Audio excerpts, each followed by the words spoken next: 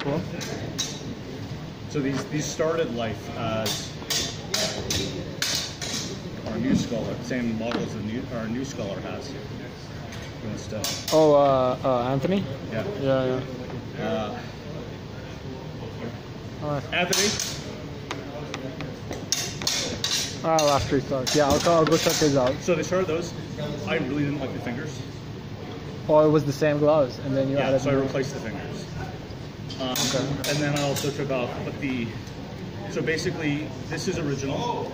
The wrist is original, but I shortened these this, uh, and I removed the cuff, and then sewed my own gloves in. So these are like the lightly padded ones. There's a little bit of padding on the back of the fingers. Uh-huh. It took a long time.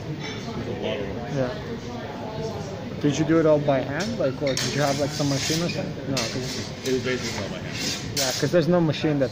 There is an industrial machine, but there's no like there's no. You get them CNC. Yeah. but it was like it would have been about two hundred dollars to get them cut, and even then you still have to finish and Yeah. form them.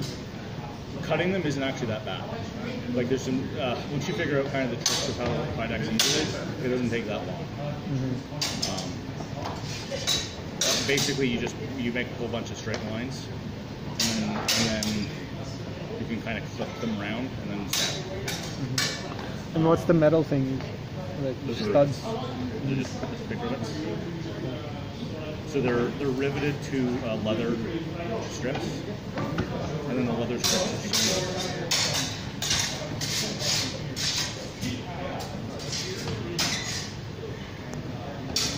Um,